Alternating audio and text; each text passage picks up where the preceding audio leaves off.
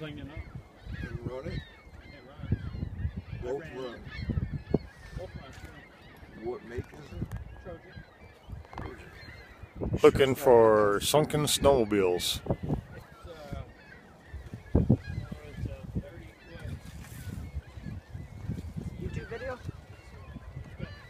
The wood decks on it. Recovery team. Don't. I, I wanted. I'm wanted. Oh, you're in the witness protection program? No, no, no. no, the other program where I got warrants and shit, you know.